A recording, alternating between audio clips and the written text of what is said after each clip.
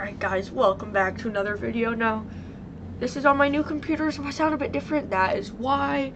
Um, usually I will be using this for BeamNG, as you could see right here. But I have some extremely exciting news because, I mean, I'm still, I'm still very excited about BeamNG. I only got this computer two weeks ago, or last week, but at the beginning of it, so about almost two weeks ago, coming up on that, one and a half weeks. Um, so I'm still excited to be able to play BeamNG Drive in good quality, but now there's another thing going on, right? It matches my content to this channel very, very well. Obviously, I've talked about it a billion different times, but let's go into here and see events near you UC Glendale, and UC February 12th. And if you look just down here, I don't know if OBS picks this up actually, but it's February 9th. So you know what that means. Yes, I'm going. I, I, again, I've talked about it many, many times. I wouldn't be making this video if I wasn't going. Be like, ooh, there's an event like 15 minutes away from my house and I'm not going to it. Like, yeah, no, I'm not.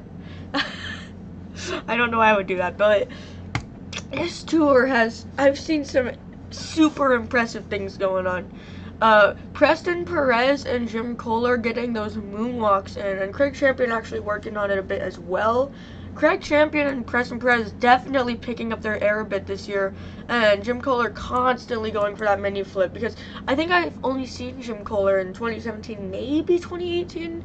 So seeing him where he could do all these crazy things right now, that's where the excitement is going to come into play for Team Scream. I really am excited to see that. But he's not even the top performer of Team Scream, so we'll get to that in a second. And then we have Camden Murphy. I saw him back in October, and he was, again sorry if I sound sick. I'm not. Um, what? It's seven in the morning, and I just woke up 15 minutes ago. Uh, so Camden Murphy, October, he went absolutely insane. He almost broke his phone trying to get a picture of me. That video is up on my channel if you want to see it. Um, yeah, I'm very excited to see him back. He's uh he was one of the highlights of the last show, and I'm I'm sure he will be one of the highlights for this show. He's been narrowing it out this year as well, and did a run on two flat tires. So I'm really excited to see what he could do this year. Moving into page two, no disappointment at all. Paul Jensen probably is the well he has uh, the lowest performer on this, but he has had a couple good runs this year, and he has gone for the backflip. Uh, same thing with Mike Christensen, who actually will revisit this page. We'll talk about uh, the independents to round him up. Paul Jensen, uh, he's been doing pretty average for how he usually runs, but is going slightly harder than Glendale October. We got Mike Christensen, who uh, still has been keeping it pretty toned down, but did get one crazy crash and did attempt one backflip, like in May in Glendale, so I'm excited to see what he will be able to do this year. And to round out the independents, we have the by far best performing independent this year. Corey Rummell in Megalodon has taken, I'm sure, the whole community by surprise. I mean, he was a 2019 award winner. Uh, what else? His 2020 season was pretty good, but oh my god, is he wild this year.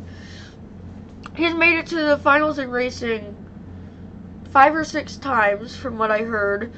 Uh, I don't usually watch racing, but I watch Tire Talk, and they, I'm pretty sure that's what they said.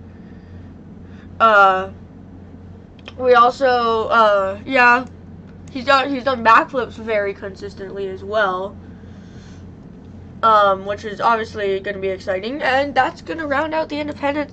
Very excited to see Corey Rummell and Jim Koehler particularly, but I'm also sure or not sure. I'm also excited to see what the three newer drivers can do. Not really new. Well, Preston Perez is the newest. Paul Jensen and Mike Curtis have actually been driving since 2016, haven't they? There's still, yeah. We'll just move on from there.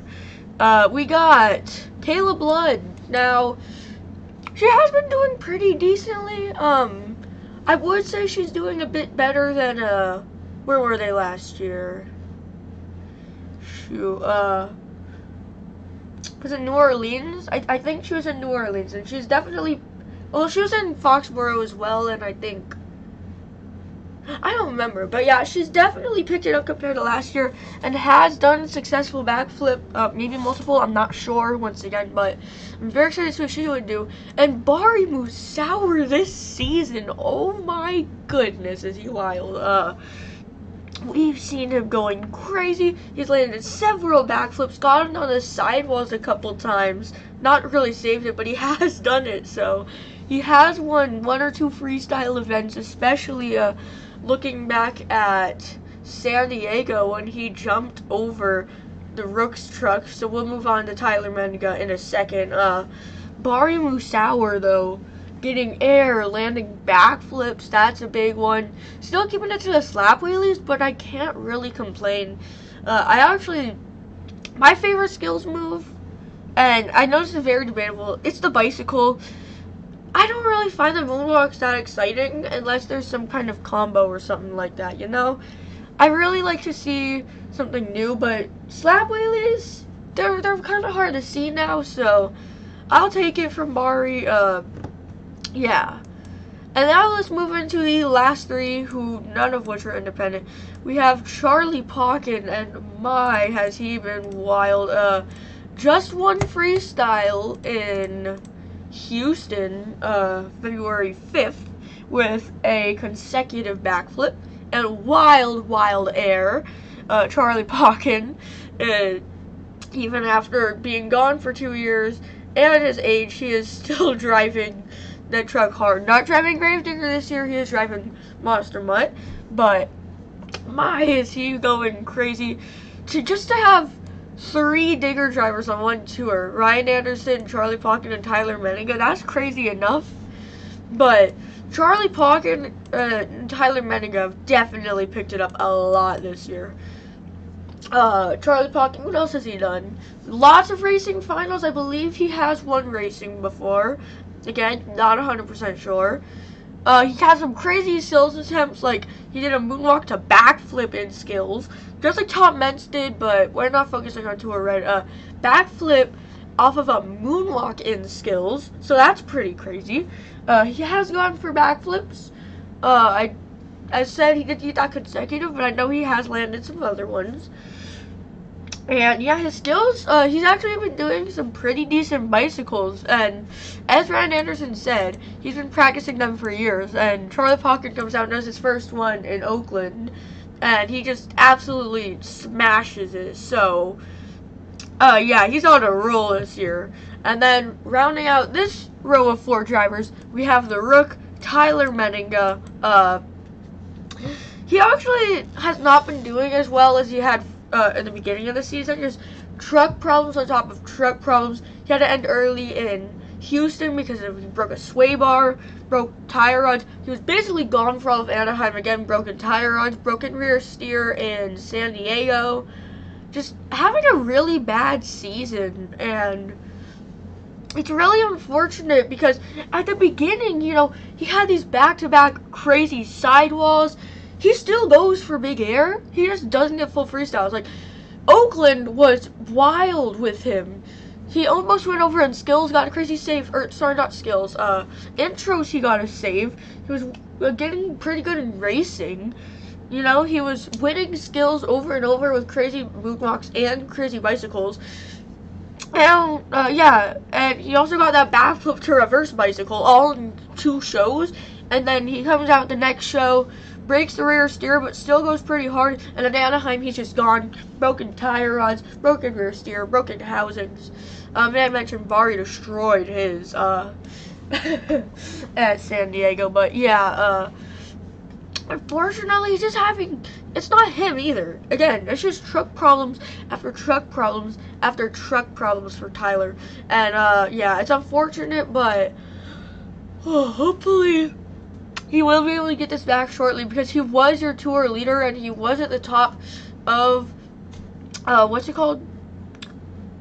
Oh, he was at the top of the power rankings for a good couple of weeks, but ever since this all started, he's gotten down to like third in the tour, I think, maybe second behind Ryan, I'm not sure.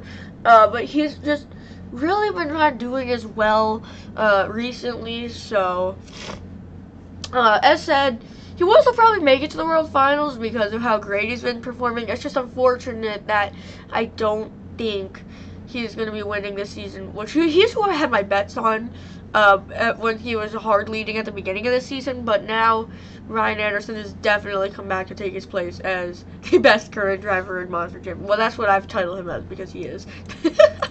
and then your last wait, I could just cop. Oh, that would be nice to know for some previous videos, uh, or for I can put that back here actually. Uh, we have Ryan Anderson, your tour leader he has been having a really rough time in skills, I've been noticing. Failing a lot of the sidewalls and saves opportunities he got.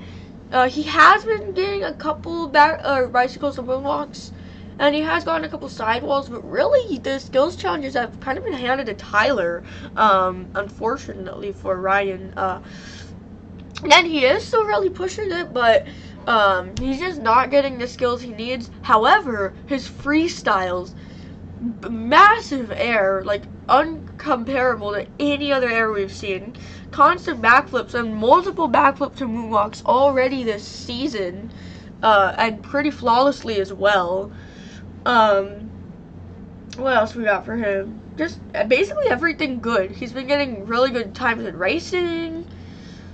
I mean, it's not, it's Ryan Anderson. What do you need me to say about him? He's Ryan Anderson. He's the best. Uh, basically wins in every category. I don't even need to go into detail with that. Uh, matter of track conditions, nothing. And this is the tour of these 12 drivers I will be seeing February 12th. Now, I just wanted to give a, a brief review of the tour because it also puts in my mind what uh, I should be looking out for when I go because uh, Craig Chapman also got attempted a front flip, and even if he didn't land it, even if that setup's not going to be at my track, I do still know that he will be pushing himself to do crazier things, and that's going to be really exciting to see. Uh, now, let's head over to results so we can look at the Houston results here and review these. So, Tyler Menninga and uh, Ryan both actually getting this, uh, but as you can see, Tyler Menninga with a really, really bad time in Saturday. Really just getting him back on Sunday. Uh, because he broke his sway bar, that's why I only went home with a 7.886 here, but did win freestyle here, which I was actually not aware of. Uh, well, actually, I have to take a look at that. Uh, uh, yep, he won skills. As said, Ryan Anderson's having kind of a rough time, but what the heck? Where is he? Oh, he's in second. Okay. Uh, and then let's see for the finals. We're seeing Tyler, Ryan, and uh, we see Charlie, and then as well as that, uh, Barney actually has been having a pretty good season of racing. I did forget to mention that. Uh, he's been having a pretty good season. And then Corey said has been into multiple finals, but is yet to win, I believe. And Tyler Menninga uh, and, uh, I should say, Camden Murphy have both been pretty good. And unfortunately, I won't be seeing Rod Ryan. I will be seeing Axe, but I've never seen Axe. Well, I've never seen either perform, but yeah. Now it's like the point standings, so we can review over this. Uh, as you can see, uh, Tyler Menninga now 23 points behind the lead uh, because of these truck problems that are really becoming an issue for his season. Uh, oh my god. I'm so tired. Uh, yeah, it's unfortunate. He was really driving it hard. And he was your leader for a while, but lost it all because of some things that he can't even control. That was on my tour, but I do want to mention that Nick Pagliarulo has been going absolutely wild and did win a freestyle competition pretty recently, so that's pretty cool. But why is he like this? Oh. Is it because of Nashville or wherever they went in that arena? Does that mean that he's not in the tour anymore? Oh, that's not good actually. I I, that might mean he can't make it to the World Finals, but he's been driving it hard, landing backflips and such. Uh, but anyways, uh, yeah, we've seen some pretty crazy changes here. Uh, I'm a bit surprised with these rankings, actually. I would love to pull up my other ones, but I don't feel like doing that right now. If they just chose the top six drivers from both of these tours, That would honestly be great, but you would be leaving out. Wait, Jim Koehler wouldn't be there, and Cynthia Gauthier would be there. They would not do that. yeah, no way. Uh, now let's go to the power rankings. So for week five, this is this week. This is what we're looking at for the power. Oh god, for the power rankings. Uh, yeah, not the uh. Well, that's week ending one thirty-one. Well, that's as far as we have. Now let's look at the power rankings for week one. Why are they like this? Where's the top? What the? Hello? Second half. Here we are. Yeah. Ryan was Top. very low. And take a look at this. And Mark List was wild, but I do want to review Houston. Uh, to see what I need to see. Oh god.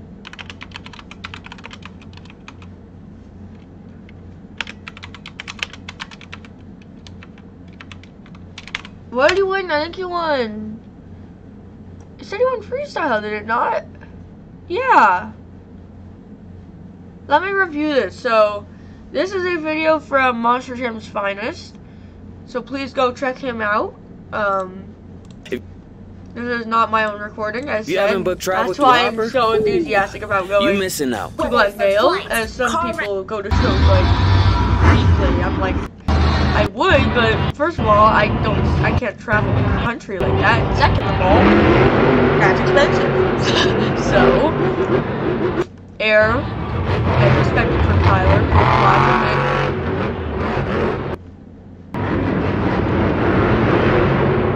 Where I'm here.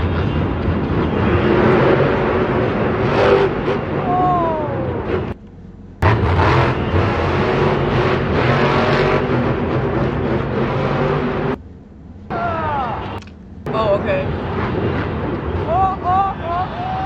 That's slightly better I guess, but.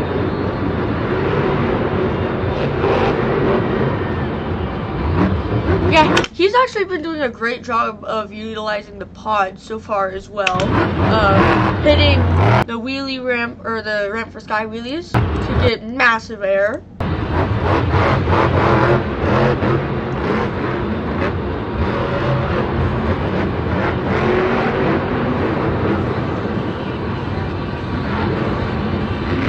And I actually should mention, so this is Houston, but it's a stadium, so it's like the same story. Now, I don't know the track layout for my show yet, apart from the fact it's going to be paper clip style, I don't really know, but so let's say this bump right here on the pod is the middle of the track. So like right here is the middle of the track, right? Put it into perspective. This is the middle. I will be sitting probably in this area, which if you take it down kind of right here in between these two ramps is where I will be sitting. Uh, basically, look at my recordings for October Glendale, and that's be. That we're sitting in the exact same seats this time. so, I don't know where the backflip's going to be. I don't know if they're using the full track or not. But what I do know is I'm going to be sitting pretty close to the center once again to hopefully get some good angles of the big jumps.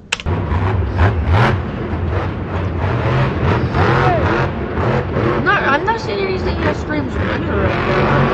I don't know. I need to pick it up a bit. So we didn't do a backflip.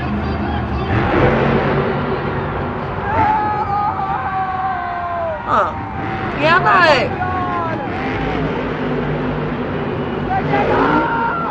Holy crap! Dude! Okay. I know Ryan did this too, but this seat really shows the fact that they literally... I know there's some perspective stuff going on, but they would at least be up to, or Tyler, at least up to right here in the seat, at least. And honestly, I've never seen a truck go higher than the lights like that before uh, in a regular stadium show. That's wild. Holy crap. I think he was. Oh, there's Jim Koehler, correct driver. I think he was the first driver to do that though. So I guess it was just the fact that Ryan followed it up uh, better. But didn't have that first run high score. Did you see the official? Look at him. Like, yeah. He's saying no. Is he like, no, don't do it? He's like, bad, Tyler. How dare you? Alright, that's pretty cool. But winner over Ryan, I just don't really see it. So that's where I'm going to end this video. But please go and check out my main channel because, you know, I have been on a bit of a growth spurt recently. Um, and I am trying to hit a thousand. Uh, it, when December started, I was at 300. Now I'm at 650. So I have been on quite the wild run recently. So please do check out my main channel. Um, as well as that, I uh, I do have some other channels like here and whatnot uh, that I don't have on my other channel. So please check them out as well. Um, and yeah, thank you guys for watching. And I am super pumped to see Monster Jam in only three days. And actually, I did bring it up right. I did bring it up right here. Uh, yeah, three days to Monster Jam. Three days total.